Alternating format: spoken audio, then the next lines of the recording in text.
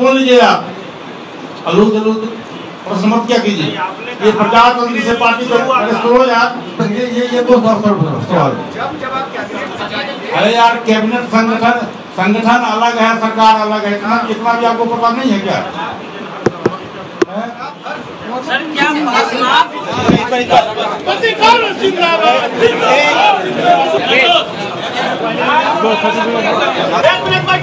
देखिए हमारे सूरज भान जी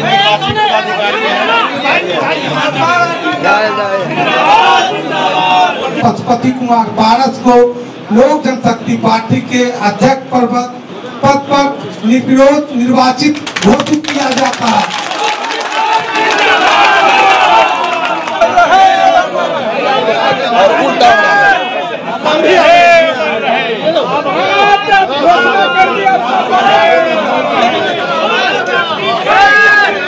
तो मैं आप तमाम साथियों को हमारे प्रेस मीडिया के साथी हैं, हमारे पार्टी के वरिष्ठ साथी कार्यकर्तागण हैं, हमारे दल के सभी सांसदगण हैं और निर्वाचित पदाधिकारी हैं। मैं सब लोगों का आभार व्यक्त करता हूँ। चुनाव प्रक्रिया समाप्त हुआ। मैंने आज नामांकन किया राष्ट्रीय अध्यक्ष पद के लिए। कोई दूसरे व्यक्ति के दल में किन्हीं का दूसरा नामांकन नहीं हुआ। निर्वाचित पदाधिकारी के द्वारा मुझको निर्विरोध राष्ट्रीय अध्यक्ष पद के लिए निर्वाचन घोषित किया गया। साथियों,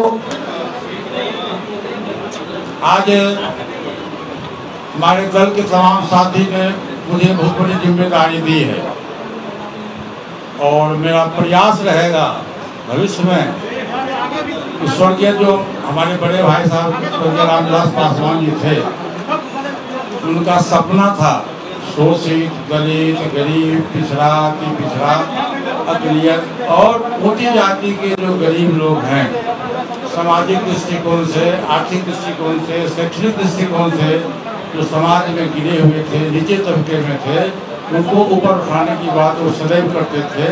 और उसी के तहत 28 नवंबर 2000 ईस्वी को उन्होंने लोक जनशक्ति पार्टी का गठन किया। आज तकरीबन 21 वर्ष हुआ 21 वर्ष का हमारी पार्टी हुई और आज मुझे मौका मिला है, आप लोगों का आशीर्वाद मिला है। मेरा प्रयास रहेगा कि भविष्य में जो मैं आज से चार दिन पहले भी कहा था और मैं तमाम साथियों से आग्रह करता हूँ, हाथ जोड़ कर मैं विनती करता हूँ जो हमारे साथी किसी भी कारणवश हमसे दुखी होकर या पार्टी में किसी बड़े नेता से दुखी होकर पार्टी छोड़ के चले गए हैं, मैं उनसे अपना आग्रह करता हूँ और माफ़ी माँगता हूँ और आप तमाम साथियों से मेरा आग्रह है कि सभी लोग पुराने फिर हमारी पार्टी में लौट आए और पार्टी के संगठन को मज़बूत करें। पासवान जी बराबर कहते देखो, गरीब और अमीर में यदि लड़ाई हो तो गरीब को साथ देना औरत और मर्द में लड़ाई हो, औरत को साथ देना ये बराबर और बराबर उनका रहा था मुस्लिम अकलियत और हिंदू में लड़ाई हो तो अकलियत को साथ देना ये उनका नारा था।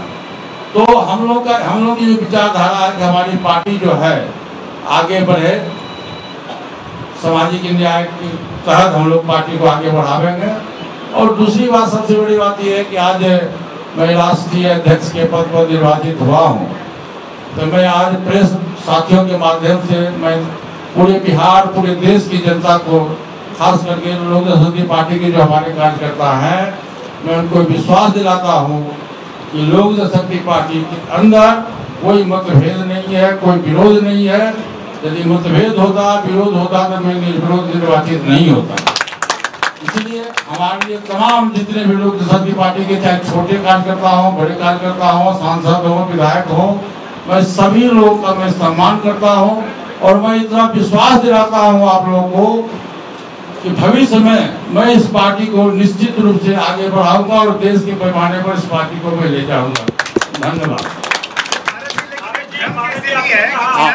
एक एक एक एक कर, एक एक करके बोलिए।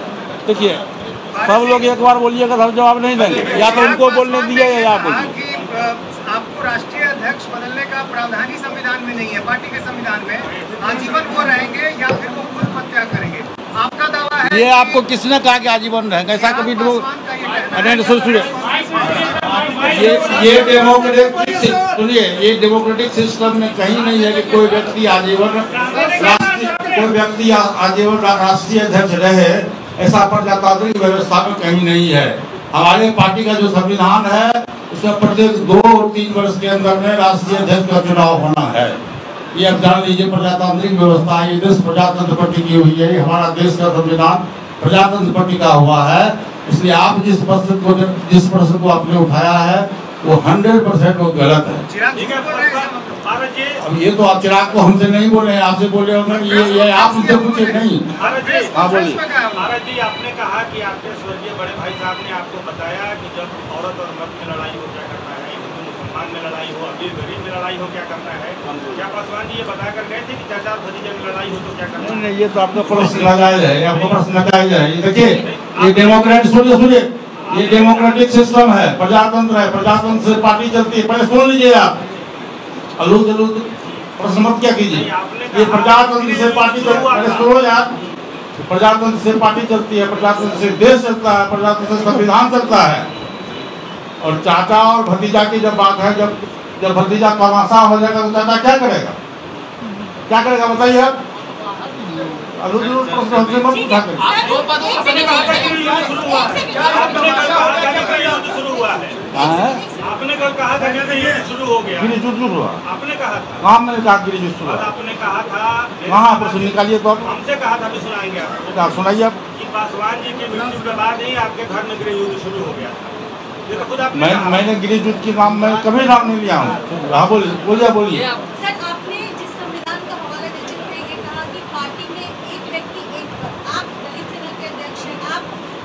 दलित सेना दलित सेना अलग दलित सेना अलग संगठन है।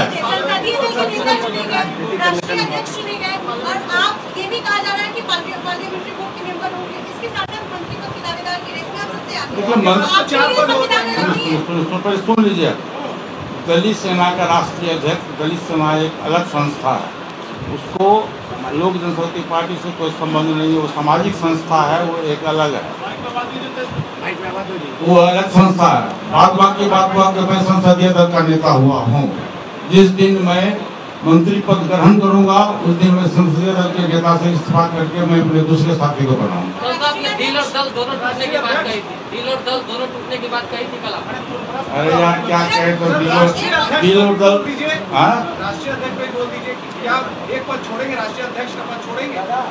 राष्ट्रीय अध्यक्ष के पद छोड़ेंगे ये ये तो सवाल सवाल जब जब आप अरे यार कैबिनेट संगठन संगठन अलग है सरकार अलग है इतना इतना भी आपको पता नहीं है क्या हैं? सर क्या आप बोल सकते हैं चलिए बहुत बहुत धन्यवाद।